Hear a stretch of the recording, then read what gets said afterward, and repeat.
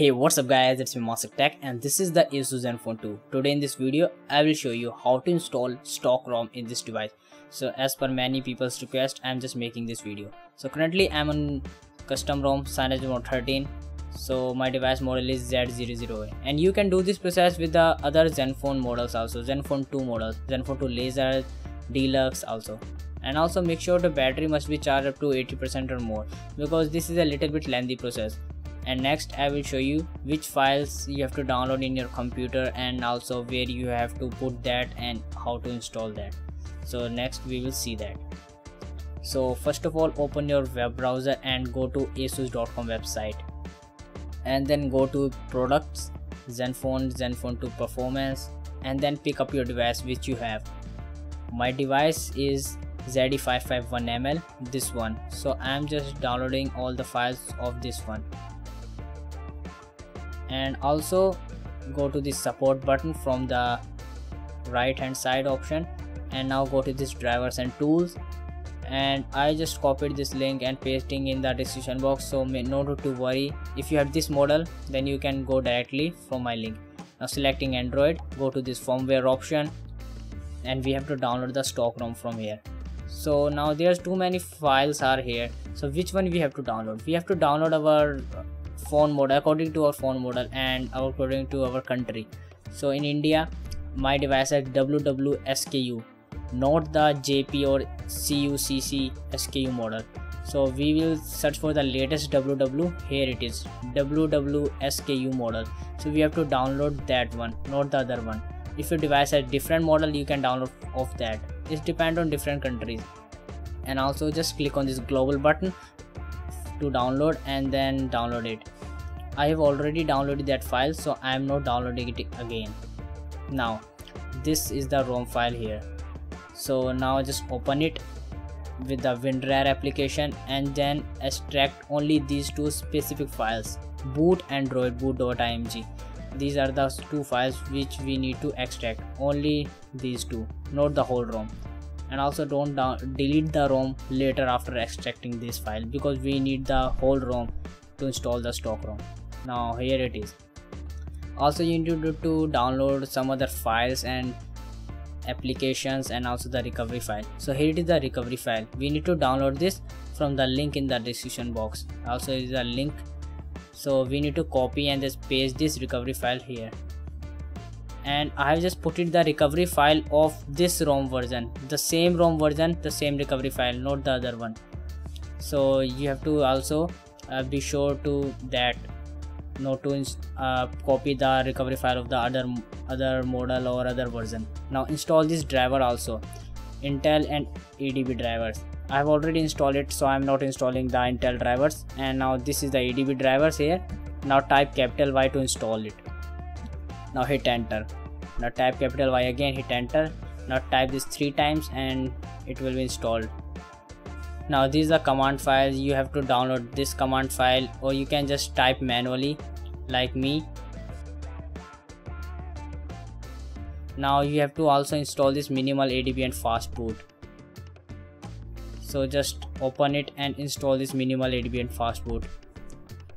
And also remember where it is installing. It is installing in local disk c program file 86 minimal adb and fastboot folder because we have to go to that location so i have already installed it so i'm not installing it again. Now copy these three files and paste in the minimal adb and fastboot folder in the local disk c. And copy that and paste it in the local disk c minimal adb and fastboot. Here it is. So paste it here. Now click on continue. We need to give some permission here and also you can check this for do for all this. Now click on continue and paste it. So here it is. Now we have to also copy the stock ROM file and paste it in that same uh, minimal adb and fastboot folder. So paste this also. So we have pasted that. Now come back to your phone and connect it to the PC with the micro USB cable. And also enable USB debugging in your smartphone. So shift plus right click of mouse now open command window here type adb devices allow it from the phone hit ok. Now type adb reboot bootloader. So our device will go into the bootloader mode here it is. Now we need to connect uh, remain connected to the pc and now we can close that window you can open the new window typing fastboot devices. So our device has been listed here means our device is connected now type the first command which is the recovery command. We have to flash first of all the recovery and do this in the sequence. Otherwise uh, this can be dangerous if you flash other command first and the first command later on. So we have to type fastboot flash recovery and then space and then name of the recovery file. Not the recovery word dot img hit enter. Now the recovery file is flashed. So we will flash the second command which is the boot. Fastboot flash boot boot.img i'm just copying this whole command because the boot.img is already here. The name is already boot so no need to change the name. So hit enter again after pasting this. Now next we will flash the droid boot command which is the bootloader command. Now copy this and paste this. Hit enter. Now it's flashed.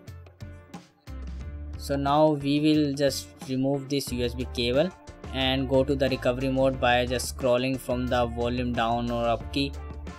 We can just scroll here recovery mode and then hit the power button to select that. So now we will go into the recovery mode.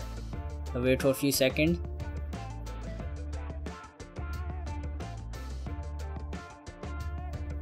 So now our device has gone to the recovery mode but it shows an error. So i already make that video how you can go to the recovery mode volume up key power key and leave at the same time.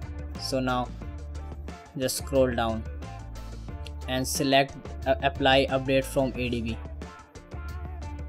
so the apply update from adb is on the second option. Now select that and hit power button to select it. Now connect this phone to the pc now.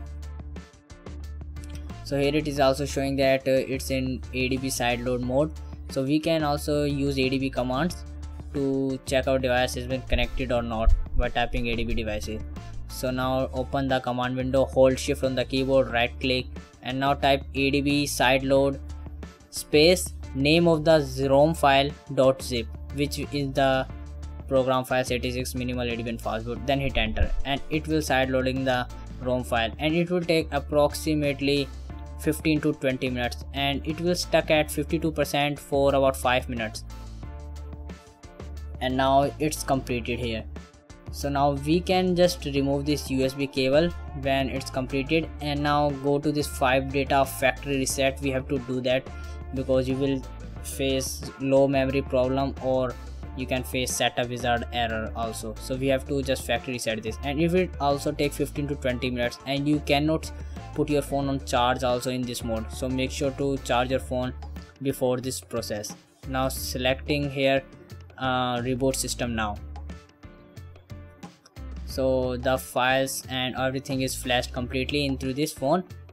Now we will just quickly set this up and it will also take few minutes for the first boot. Now selecting our language and i'm just skipping all this option and we will continue after that. So we have just completed the setup wizard from here. And now the phone is in stock rom pure stock rom of the asus zenfone 2 this is the original one. So this is the whole video of installing the stock rom in the zenfone 2 as per many people request i make this video.